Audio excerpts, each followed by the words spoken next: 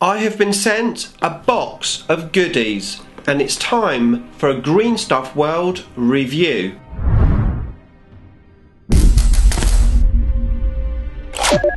Nick speaking and welcome to this video and if you're new to the channel and you want to keep up to date with the wonders of Warhammer 40k then please subscribe and hit the bell button so you don't miss an upload. Okay so I was recently contacted by a company called Green Stuff World. I'd previously reviewed one of their Green Stuff tentacle makers. They saw that video, they liked it and they contacted me and said would I like to review some other stuff that they make. They said to me, have a look at the website and see if there's anything I want to review. Now, I was very surprised when I had a look on their website. The amount of products that they do was pretty outstanding. And there was a lot of products I didn't expect to see. So I made a list of everything that I thought I could use and I would review on the channel. So I sent them my list and said, how about you also give me something to give away on the channel? I got an email back and they said, expect a parcel soon. I would seriously have a look at the website yourself. The website address is www.greenstuffworld.com. Now, as you can imagine, I was very excited to receive this parcel. So, let's have a look inside. Okay, so here is the parcel. Let's get this open. Now, this parcel arrived in very nice condition and it came very quickly from when it was communicated that it was being sent out. In actual fact, I had loads of emails with tracking references, etc. So I was pretty impressed with that side of things. Alright, let's have a look and see what we have in here. Very exciting. So we've got some polystyrene chips. So this thing is very well packaged and we've got quite a lot of stuff in here. Okay, this is exciting. Right, I'm going to unbox this and then we'll have a closer look at everything that I've got. I'm dreaming of a white Christmas. Okay, so here is everything that I received in the box. Bit of a surprise to be honest, there's only three items that was on my list of nine items to review on the channel, so the rest of the stuff is extra.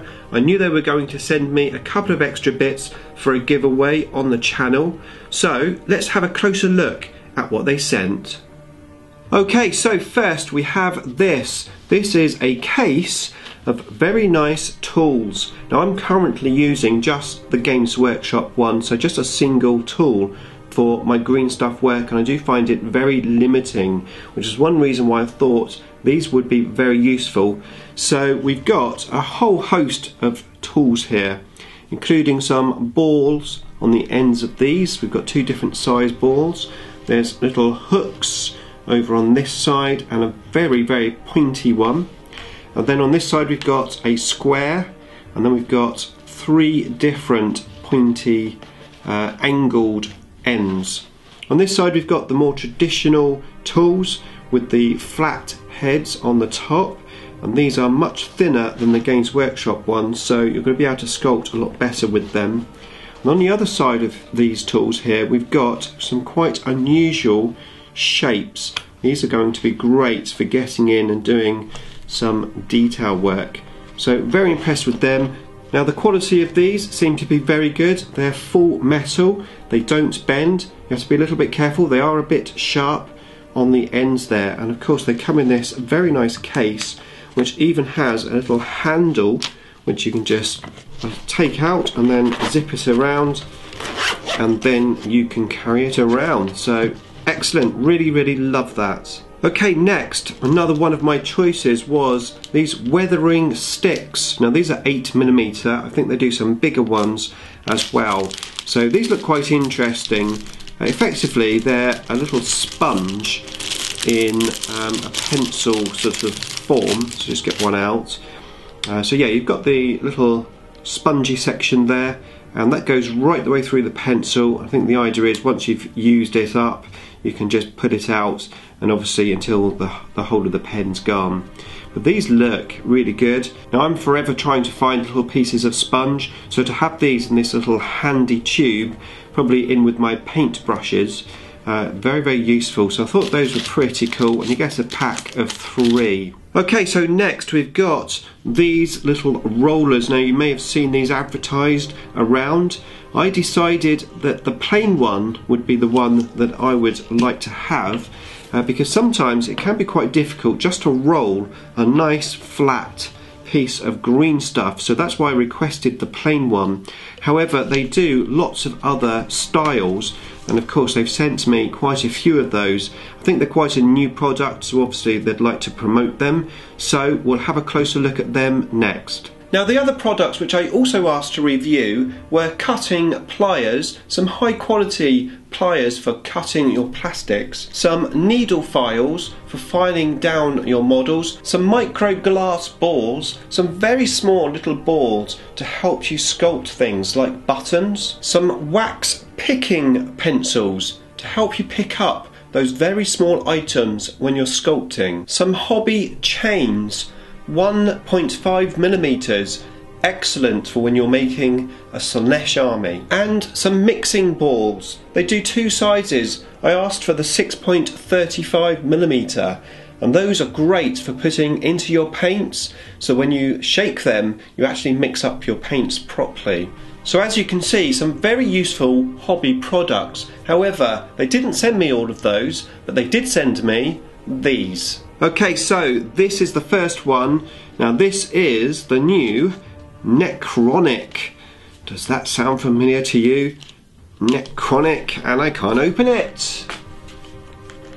Open! Open! Let's leave that loose. Is the Necronic one. And this is a rolling pin with Necron symbols on. How cool is that? Now just in case you're wondering what these are used for, the idea is to put some green stuff onto one of your bases and then to roll this over the green stuff giving you a very cool Necron base.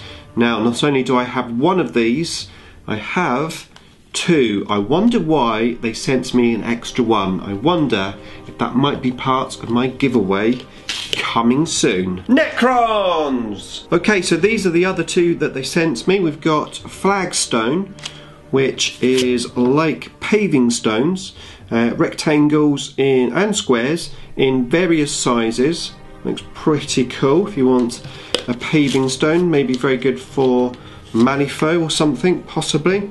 Uh, and then you've got the double diamond one, which is uh, literally, oh yeah, it's like urban paving stones effectively with the dashes there. And the good thing about these is when you roll them on your bases, you tend to get different effects on the bases where there's different designs. So the bases can match in, but not all of them are exactly the same. So those look very cool. Now they also supplied me with these silicon rolling rings. Now, I have to be honest, I'm not 100% sure what these are, but I'm assuming that when you get your roller, you put the rings on the outside so you can adjust the height of the roller when it goes onto the green stuff to keep everything even. That's my guess. Um, I'm not sure if that's right. As I said, I didn't actually order these, so um, I don't really know, but that would be my guess. Now, they've also sent me this Sculptor Vaseline. So this is basically a tub of Vaseline type stuff for when you're doing sculpting to basically stop the green stuff from sticking onto whatever you're sculpting it onto. So if you're sculpting it onto a table, I assume you just put this down on the table first. Um, I tend to use olive oil, but um, I'm sure this is a much better product than that. Okay, so next I've got some paint. So first of all, we've got this new colour shift paint. Now I've seen others use this. Seem to remember uh, some people saying that it works best if you're using an airbrush rather than painting it on with a brush. Of course I don't own an airbrush, so I will experiment with these I think, with a brush. And we've got Martian Green, This says it's a metal one, could be pretty cool. I've also got this one, this is another metal one. So this is Evil Forest, colour shift. And we have this one, now this isn't a colour shift, this looks like it's a fluorescent paint. That is bright. Yeah, lime, of course. That's pretty cool. I wonder if I can use that maybe on something Necronish. Gonna have to try it out and see what it's like. Okay, so next I've got this set of acrylic wash ink paints. Quite interesting. Uh, basically says it's for washing, shading, blending and more. So they seem to be quite universal. We've got a big pack of eight different colours. A black, red, blue, a flesh, purple, green, earth and sepia. I'm going to be very interested to try these out. I've only ever used the Games Workshop uh, washes and glazes etc so I'm definitely looking forward to trying those. Of course as I do my painting and I use these products I'll be updating you on how I get on with them that's including those colour shift paints as well. Okay, so there you go. That is all of the products that they sent me, and it's fair to say they do all look very good. I'm looking forward to trying these out, and as I said, I'll be featuring them in future videos. Now, if you want to see these videos and you're not subscribed, start now. Hit the IDICBeer icon. And if you want to see me review the Green Stuff World Tentacle Maker, then check out that video there. Beam me up!